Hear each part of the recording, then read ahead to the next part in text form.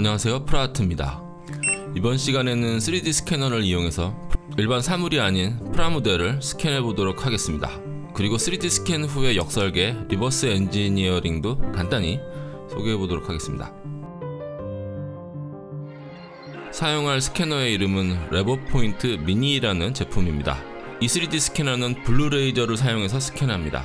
unboxing은 많은 영상들이 이미 있기 때문에 바로 실사용해 보도록 하겠습니다 이 스캐너는 작은 사물의 스캔을 하기에 적합합니다. 매우 좁은 스캔 범위를 가지고 있지만 정밀하게 스캔할 수 있다는 장점이 있습니다. 이 제품으로 3D 스캔을 받으려면 이렇게 붉은색인 경우에는 스캔을 할 수가 없습니다. 밝은 흰색 계열일 때만 스캔을 할 수 있습니다. 이 제품에는 회전판이 포함되어 있어서 이런 방식으로 스캔합니다. 오른쪽 스캔 화면을 보시면 스캔 범위가 매우 좁기 때문에 한 화면에 들어가지 않는 걸 볼 수 있습니다. 이 제타건담의 헤드를 스캔해 보도록 하겠습니다. 부품의 일부가 흰색이 아니기 때문에 흰색으로 만들어줘야 됩니다. 이것은 3D 스캐너 전용 스프레이입니다. 이렇게 도포하면 흰색으로 되는데 신기한 건 4시간 후면 이 흰색이 모두 사라지고 원래의 색으로 돌아옵니다. 특수한 목적의 스프레이인데 단점은 가격이 매우 비쌉니다.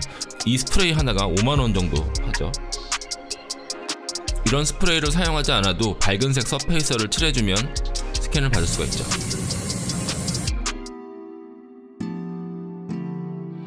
레버포인트 미니는 전용의 스캔 프로그램이 제공됩니다. 이쪽 부분에서 밝기 세팅을 해주면 되는데 붉은색 반점이 많이 나오지 않도록 조절해주면 됩니다. 스캔을 시작하면 그린색을 볼 수 있는데 이 그린색이 현재 스캔되고 있는 면을 표시해 주는 것입니다. 한쪽 각도로만 스캔하면 놓치는 면이 있을 수 있기 때문에 각도를 바꾸어서 추가 스캔합니다. 스캔 받은 결과물입니다.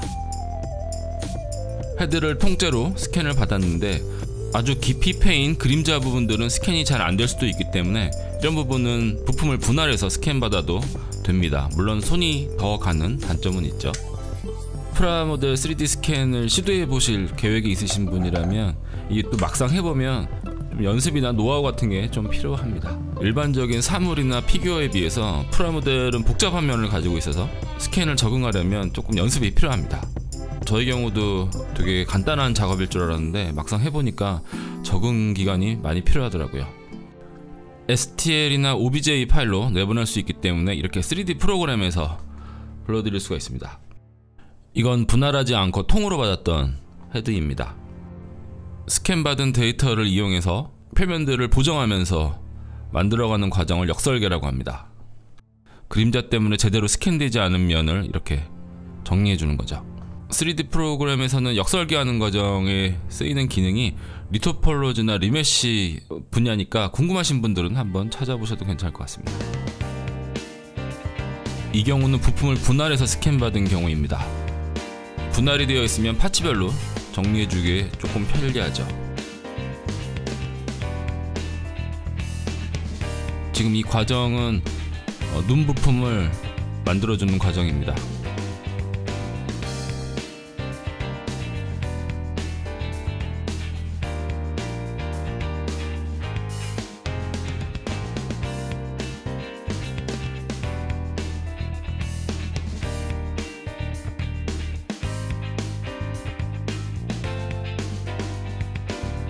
헤드 기관포 묘사가 단순하기 때문에 이 부분을 수정해 보겠습니다. 마스크를 씌운 다음에 이 부분을 다른 그룹으로 지정해 주어서 삭제해 버리는 거죠.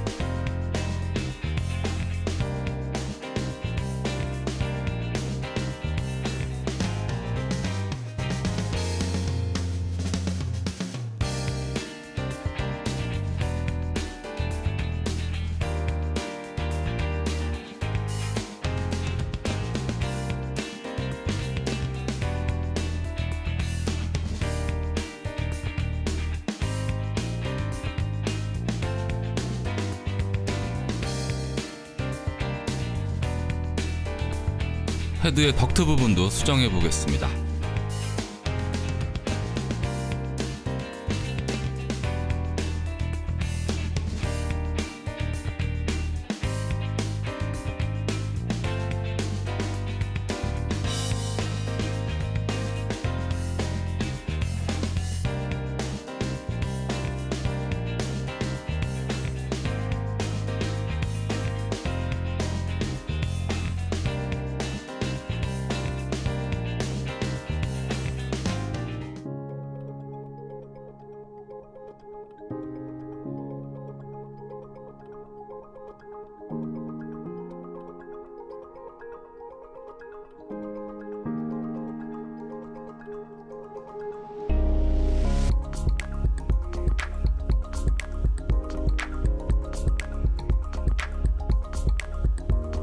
경우에 따라서는 울퉁불퉁해 보이는 면을 칼각으로 만들어주고 싶을 경우도 있을 텐데요. 이런 경우에 ZBrush에는 몇 가지 방법이 있는데 그 중에서 topology 기능을 소개해드리겠습니다. 어, 여기 layer subtool에서 insert를 누르시고 이 붉은색의 ZSphere를 골라줍니다. 그러면 이렇게 붉은색 공이 생겼는데요. 이렇게 투명하게 보시면 이렇게 붉은색 공이 생겼죠. 여기서 scale을 누르시고 이걸 위아래로 사이즈를 조정할 수가 있습니다. 뭐 커도 상관없는데 이 시야가 방해돼서 작게 만드는 게 좋겠죠. 자, 그리고 이 하단에 보시면 여기 topology라고 있는데 이 topology에서 edit topology를 눌러줍니다. topology를 edit 하겠다는 의미입니다. 그리고 이제 adaptive skin을 누르시고 여기서 density하고 요 mesh resolution을 이렇게 최 가장 낮은 값으로 바꿔줍니다. 기본적인 준비는 다 됐고요. 여기서 이제 Q를 누르시면 이제 스케치 모드로 바뀌죠. 그래서 자기가 깔끔하게 만들고 싶으면 그 면 위에다가 이렇게 점을 찍어서 이렇게 점을 이렇게 연결해 주면 이렇게 면이 하나가 생성이 됩니다. 그래서 또 점 위를 이렇게 이런 식으로 그리고 A를 눌러 보시면 이렇게 이 면이 하나가 생성된 걸 보실 수가 있죠. 이 A는 미리 보기입니다. 이렇게 다시 A를 누르시면 스케치 모드로 돌아가고요. 잘못 그었다 싶으시면 이 상태에서 Alt를 누르고 클릭을 하시면 지워집니다. 지금 선택이 이렇게 잘 되고 있는데 이렇게 선택이 잘 안 됐을 경우에는 바깥을 한번 눌러주시고 작업을 이어나가시면 됩니다. 이 포인트들을 이동하고 싶을 때는 W를 누르신 다음에 이 점을 자꾸 움직이시면 포인트들의 위치를 바꿔줄 수 있습니다. 그리고 다시 스케치를 이어나가고 싶으실 때는 다시 Q를 누르면 이렇게 스케치 모드로 바뀌죠. 그리고 이 작업을 할 때는 이, 이 라인이 잘 보이게 하기 위해서 이렇게 칼라를 어둡게 만드시고 작업하셔도 도움이 됩니다. 좀 더 잘 보이죠 이렇게 이런 식으로 찍을 수가 있죠. 이게 기본적인 사용법입니다.